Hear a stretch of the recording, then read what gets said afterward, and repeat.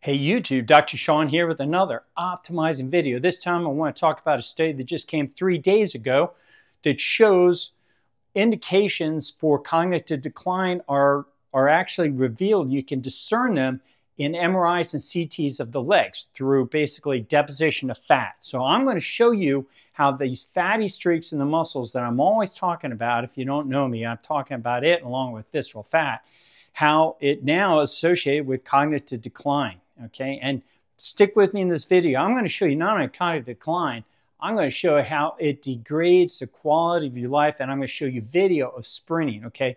People that have these things, these fatty streaks, they can't sprint as well as people without them. So stay with this video so you can see this cool. I've not, I have not shown these videos before, so be good for you to see. So in this study, they followed 70-year-olds to 79 for about 10 years, and they tracked how much visceral, I'm sorry, fatty streaks they had in their muscle, represented by this purple here.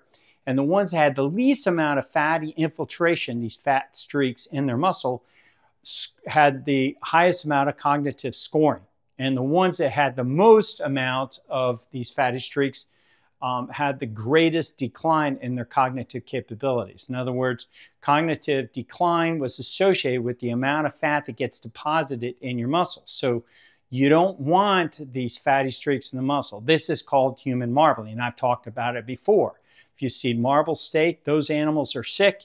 If you got marbling in your skeletal muscle, you're sick. Okay, you don't want it. I talk about this. I'm trying to get it out there.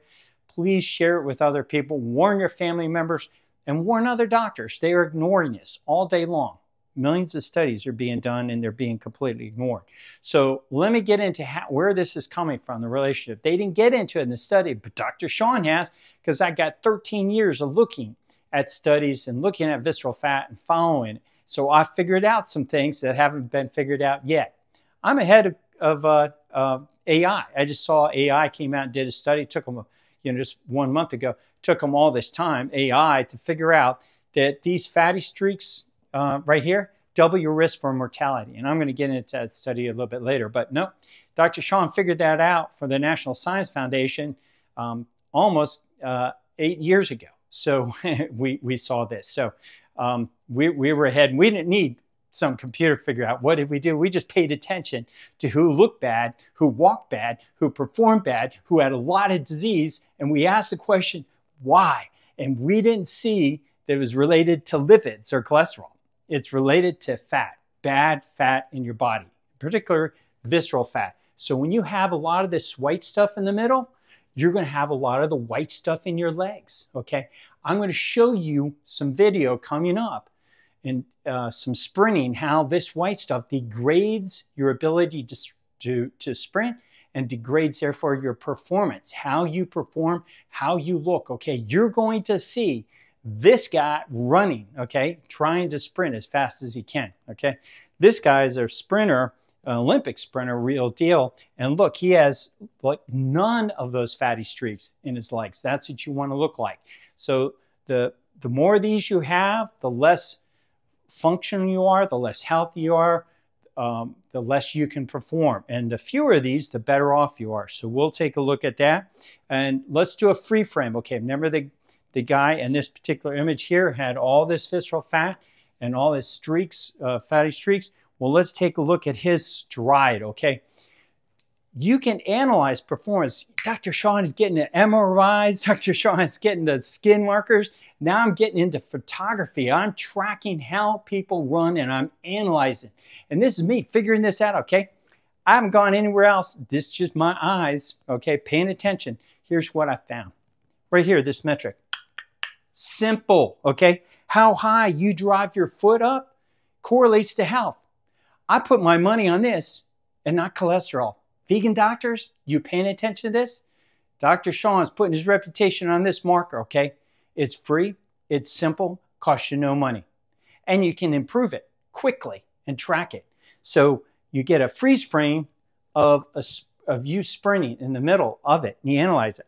How high do you get that foot correlates to how functional you are, how well you perform. How well you perform is predicated on how much visceral fat you have. And the influence of that visceral fat degrades your functional performance and your appearance. So this guy has a lot of visceral fat in his abdomen. We showed you a scan before, his MRI, um, but he's got very little height to that. He can barely raise his knee. And we'll take a look at um, my, my stance, okay? Uh, here's Dr. Sean here. Look how high I get my foot up, okay? And we'll take a, take a picture. I'll do some video. It won't be a picture, a video of me sprinting and then my client sprinting so you can see that difference. But do you see that gait? These angles tell the story of functional health, okay? We just got to pay attention to it. When you see a great Olympic sprinter, a great sprinter, it's very inspiring. They're, they're healthy, they're doing a good job. Well, we should analyze why do they, it's not just skills, it's health, it's physiology. We, we tend to look at great performances as just skill, but you're forgetting health, you're forgetting biology, which helps you do way more. So it's not just getting skills and practicing, but how healthy you are. So let's take a look uh, at my skin. Now, look how fast I can sprint, okay? That's pretty good for a 60 year old guy. All right. So I sprint hard, I sprint fast, I drive my knees up, and I'm raising that foot up high. Well, let's take a look at my client who first arrived, uh, who got one of my, my plans and worked with me. And let's take a look at his sprinting. So he's he's he's coming towards us, and this is as fast as he can run. He barely gets his knees up. Look how little he can barely get his feet up. Okay, that's as sprinting. That's as fast as he can sprint. Okay, so you could analyze how well you're performing. It gives you an idea on how healthy you are. Just pay attention because Dr. Sean's definition of health doesn't use cholesterol and laboratory numbers. I just use health and performance. And we can quantify it. You can actually quantify health metric, biometrics, and you can quantify performance, key performance indicators. But it's basically that simple. How, how healthy you are is predicated on how well you look, how good you look, and how good you perform. All right, so here's the study. And let me see if I can blow that up a little bit so you can maybe screenshot that. And you can take a look at increase in skeletal muscle adiposity and cognitive decline in biracial cohort of older men and women. It's published, just came out, um, and it, it's it's it's published, and you you can take a look uh, look at that and uh, uh, pull it uh, from the Journal of American Geriatric Society. Okay. All right. The other thing I want to share with you are what do you got to do? How can you help yourself? Okay. So uh, I have pinned in my Instagram account these same strategies at the top and actually a few more, but you can screenshot this, what you can do to help improve your overall health, improving your appearance and your performance, these particular interventions. So share this video with somebody you care about, somebody who's aging, somebody who's young. I mean, they're still going to be aging when they're young, but the idea is educate them about these things so they can pay attention. If you have ever had a CT or an MRI of your legs, your arms, your shoulders, you can take a look. You can ask for those studies and you read these fatty streaks. You need to pay attention to them.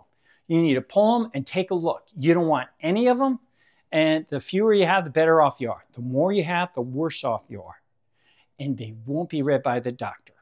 The radiologist doesn't read it, your doctor won't read it, and it's a it's a crime, in my opinion. It's a shame because it really is that important of a biomarker. But they're not educated about it, and I wasn't either. I was one of those doctors.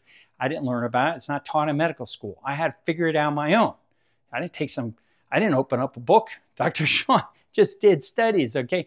And it and what's driving me is a passion. It's an insatiable fire to try to figure out what we have to do to biologically optimize.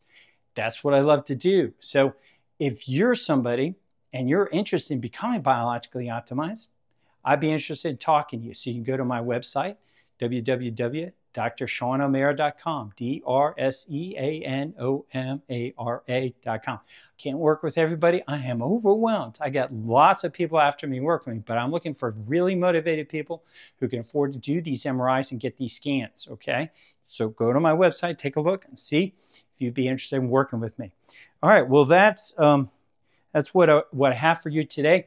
Um, as always, if you like this video, smash that button. The more likes I get, the more this gets shared with other people. You could literally potentially save a life or multiple lives by liking this thing to get other people to be aware about the dangers of visceral fat and myosteatosis, these fatty infiltrates uh, that are in muscles. So do your part to help save lives and improve quality lives by liking this video and share with other people. The more it gets shared, also, the better the algorithm goes. YouTube will share this more with other people. So, um, if you want more information, go to my Instagram account where I have more information shared on there, um, pinned at the top about strategies how to optimize. All right, well, thank you very much for watching with this video, and hopefully you stayed to the end, which also helps uh, improve this. And as always, give me some comments. I'm having a hard time keeping, uh, getting popular. I guess this content is. It's not really me.